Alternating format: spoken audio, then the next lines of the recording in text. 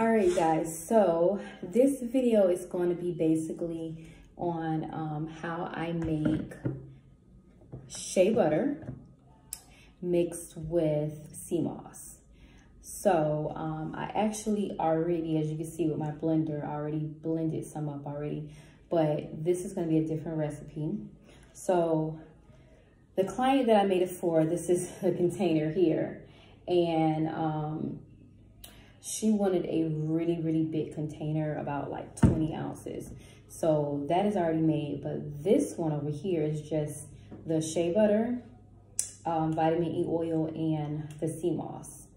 So the one that I'm gonna make now is gonna be more of a smoother consistency. So I'm gonna tell you the ingredients that I'm gonna put into that one. So um, first we're gonna start off with, and by the way, before I start, um, I do not uh, measure any of my products because, I mean, I just eyeball it. I just know how much goes in it. So I'm sorry if I do not put um, how much I put in there. I'm so, so sorry. I just, I mean, I just don't make my products that way. That's what I prefer. Just like back in the day, you know, old school, you know, grandmas, they just eyeball and stuff. That's how I make my products. And I just know how much goes in there. Anyways, so we're gonna start off with um, the shea butter. So we're gonna put that in there.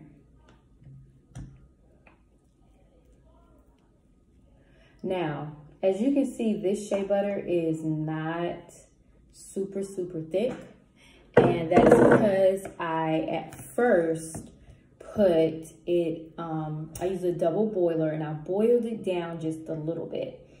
Um, just to get it not so thick because organic, unrefined shea butter is super, super thick.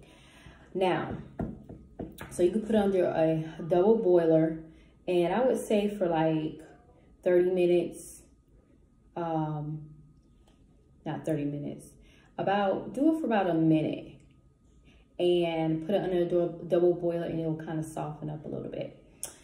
So the next ingredient I'm going to put is my um, coconut oil. Now, this is what I mean, the, why I didn't put um, in my client before, I didn't put coconut oil because she does not like coconut oil. Um, she didn't want it in there. She wanted it very, very, you know, organic and pure.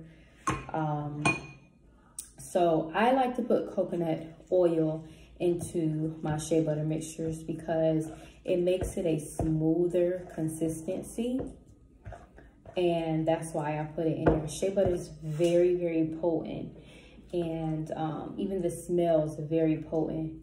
And I just mix it with coconut oil just to get it a little bit smoother. All right. So I'm going to show you guys so far what it looks like. So that's what it looks like so far. So next we are going to add some vitamin E oil. This is the vitamin E oil that I sometimes use. Um, it's 100% natural, okay? Um, I like to use vitamin E oil because uh, for shelf life purposes, uh, it lasts it lasts a lot longer so like I said, I don't measure. So I'm gonna put a cap full here of vitamin E oil. Okay, so this will make it um, where your shea butter is not gonna create, it's not gonna create mold. I remember when I first started making shea butter back in 2015, um, I couldn't figure out why it was creating mold after like a week and I did my research and vitamin E oil prevents a lot of products from going bad. So as you can see, it's getting to be a lot smoother, okay? So then I'm going to add the patchouli scent.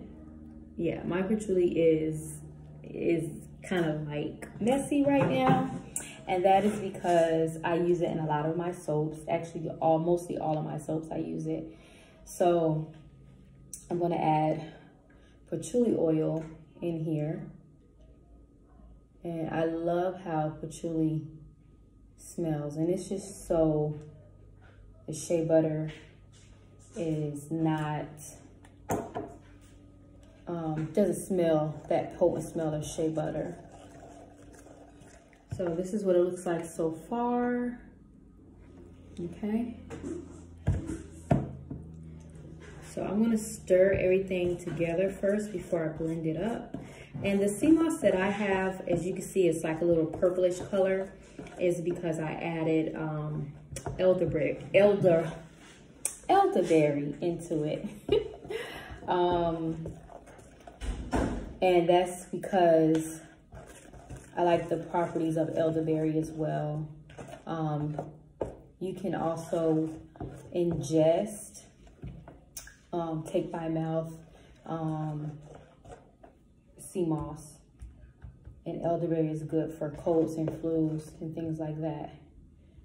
So now we are going to whip the shea butter. Música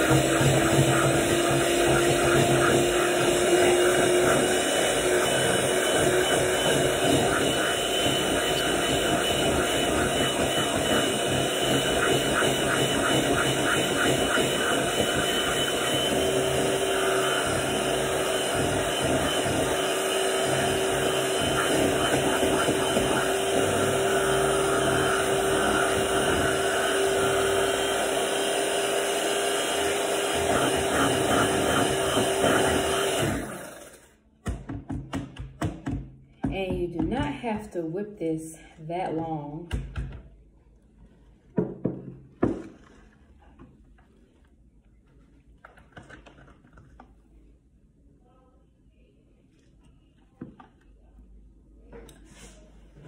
So,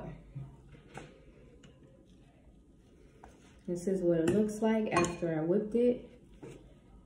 And you can see the sea moss chunks, those little specks. That's the sea moss in there. So I'm gonna get my containers.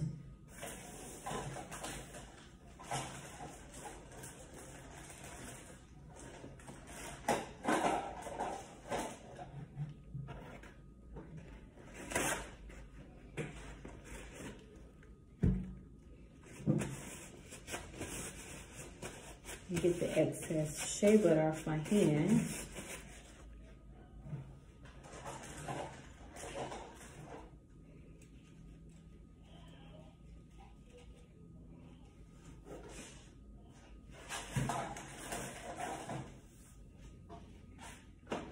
All right, so my containers, I to spray them with alcohol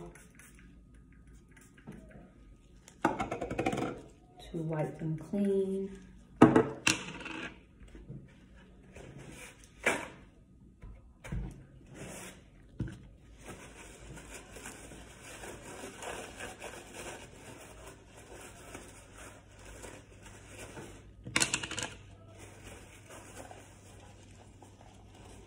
And even after, I'll probably spray them again, the outside. So,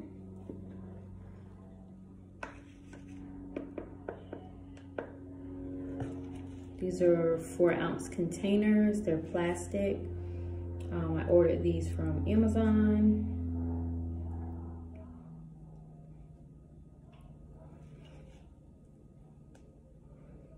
I'm gonna try to fill them up as much as I can.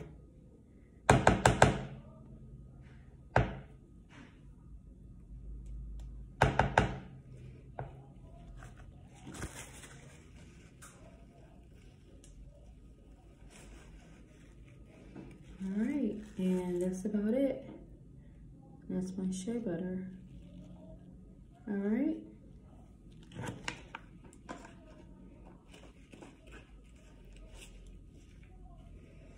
Now packaging like that.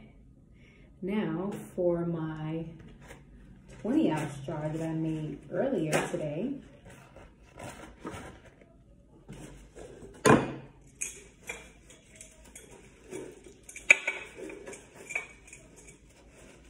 Already spread it down with alcohol already. So this is a 20 ounce jar. Let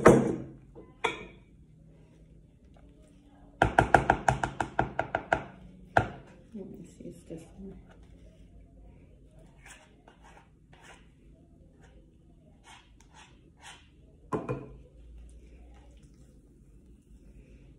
As you see, this one is a little bit more solid.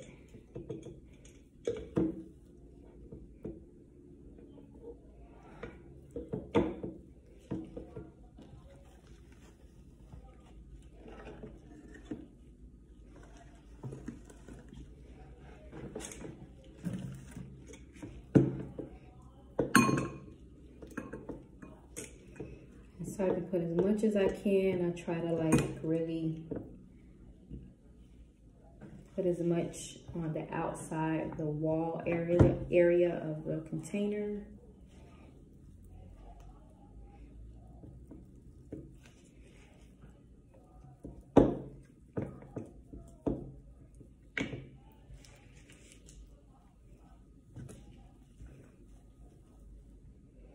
And then after this is done, I'll put my labels on it. So I don't know if I explained earlier today with you guys, but um, so shea butter is good for if you have like eczema, if you have psoriasis. Also, um, it's safe for children as well. Um, also, if you have dry, brittle hair, you can use shea butter. That's actually how I discovered shea butter because I made some for my daughter. She has like really, uh, she has 4C hair and it's really, really dry. So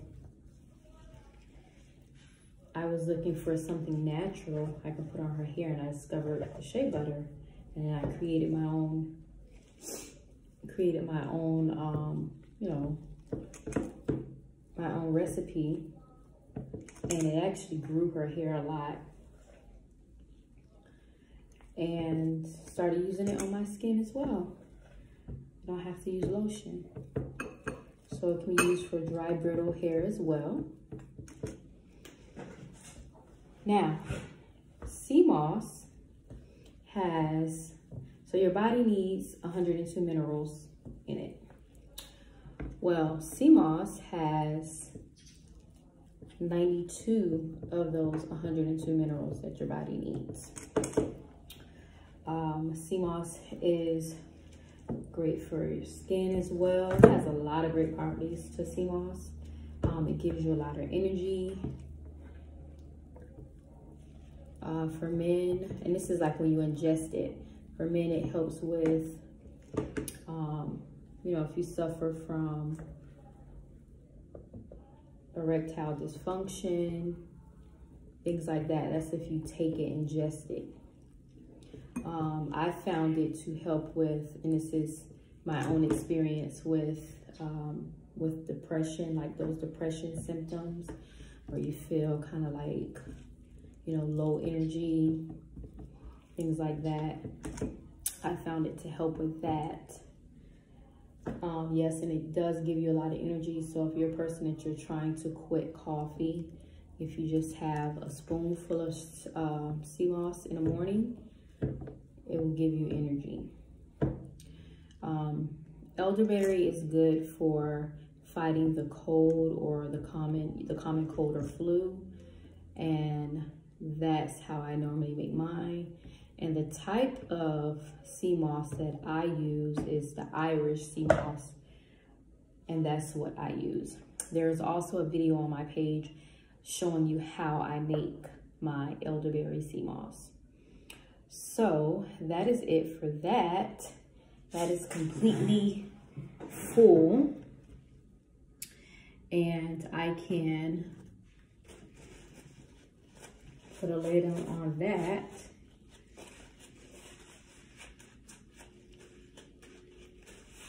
But yeah, if you have any questions, put your comments below. Like, share, and subscribe. And um, I'm going to try to do more videos on the products that I make here. All right, you guys have a good day.